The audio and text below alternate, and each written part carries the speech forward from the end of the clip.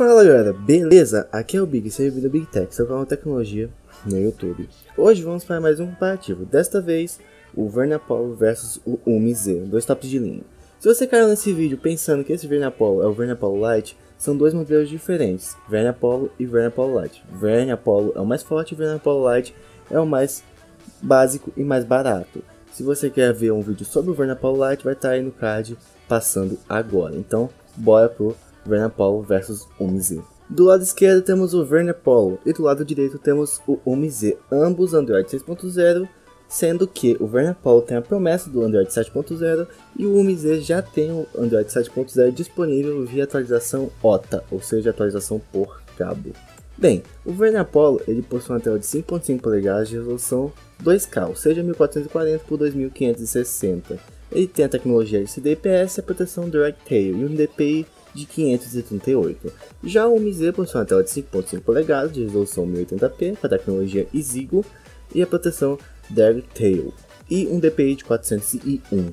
O processador do Verne Apollo é da mesma família do UMZ, só que do Verne Apollo é o Helio X25, também de 10 núcleos, tendo 2 núcleos de 2.0 GHz, 4 núcleos de 2.0 GHz e 4 núcleos de 1.5 GHz, sendo que há aquela divisão de trabalhos por núcleos.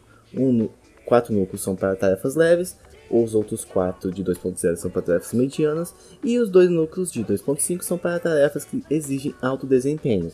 E a GPU do Verne Apollo é a Mali T880. Já o MZ tem o Helio X27, primeiro celular do mundo a equipar este processador.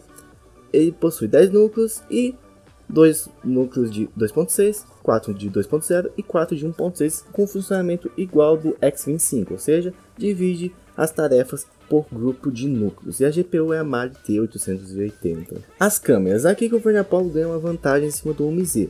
As duas, traseira e frontal, são fabricadas pela Sony, a traseira possui 20 megapixels e a frontal possui 8 megapixels. A resolução da traseira de foto é 5340 por 4016 e consegue gravar 4K a 30 fps.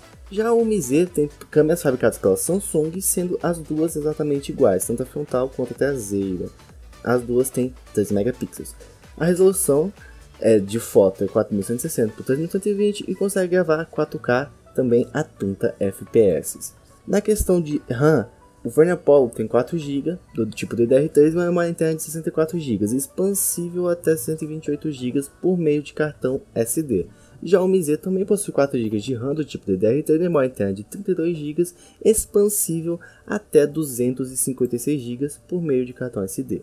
Na conectividade, nós temos uma baia híbrida no Verne Apollo, ou seja, você pode usar dois chips ou pode usar um chip e um cartão SD. Ele possui Bluetooth 4.0, Wi-Fi, GPS, GLONASS 4G e possui uma conexão Type-C para carga e transferência de dados. Já o MZ também possui uma baia híbrida, ou seja, dois chips, um chip e um SD, possui Bluetooth 4.1, Wi-Fi, GPS, GLONASS 4G e também possui a conexão Type-C para carga e transferência de dados. Sensores Ambos possuem biométrico, proximidade, giroscópio, acelômetro, bússola e sensor de luz, ou seja, sensores é um a cópia do outro praticamente, não muda nada. A bateria. Aqui que a gente vê uma diferença sutil na bateria. O Verne Apollo possui uma capacidade de 3.180 mAh. A bateria é fabricada pela Verne e tem um tempo de uso aproximado de 16 horas.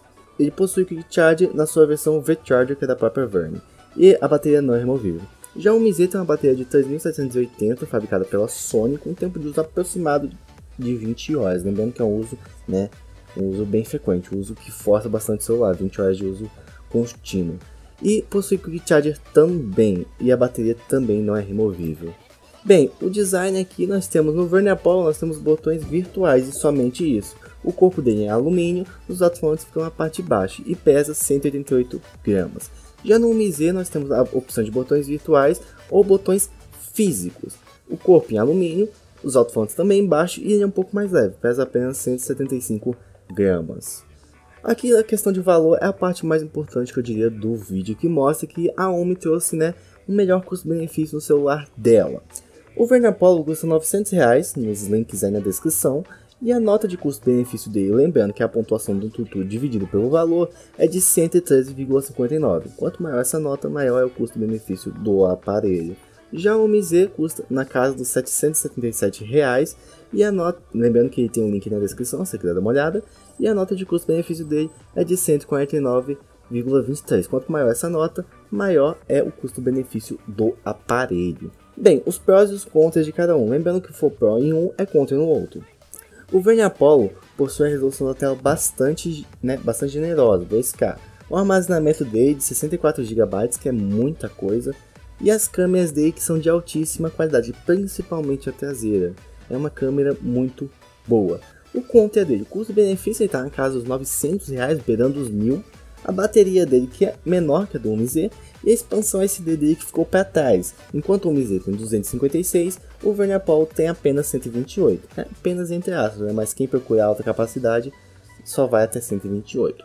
Já o MZ, o pior dele é o processador que é, digamos, 15% superior ao processador do Vernier Apollo. A bateria que é bem tem uma diferença das, nos 700 mAh da bateria do Verne. O custo-benefício dele que é muito mais alto que o do Verne Apollo. A expansão SD que vai até 256 GB que é um ponto que pode ser crucial para algumas pessoas. Os contras deles, nas suas versões de outras cores, que não seja preto, ele possui umas bordas pretas na, na, tela, o que pode incomodar. Mas se você não quiser ver essas bordas pretas, pegue a versão preta dele, que né, vai disfarçar, não não vai dar para notar que tem borda preta na tela. A resolução da tela dele, que é inferior à, à resolução do Venapol, se você quer um celular com 2K, você não vai achar no MZ. O armazenamento dele de 32 GB, que ficou para trás do Verne Apollo, que tem 64, e as câmeras dele que são boas, mas são inferiores à do Verne Apollo. Isso não tem como negar que são inferiores ao do Verne Apollo. Numa disputa direta, eu ficaria com o MZ neste caso. E você? Qual dos dois escolheria? Responde aí no card que vai ter a enquete. Qual dos dois você compraria? Lembrando que o link vai estar tá aqui na descrição do vídeo para você dar uma olhada em ambos os aparelhos. Então foi isso pessoal, espero que vocês tenham gostado do comparativo. E não se esqueça, deixe sua opinião nos comentários, qual você compraria, o Verne Apollo ou o MZ. Lembrando que o link dos dois vai estar na descrição em várias lojas, ok? Se você curtiu o vídeo, deixa aquele like para fortalecer o canal. E se não for inscrito, se inscreva. Valeu, falou e até a próxima.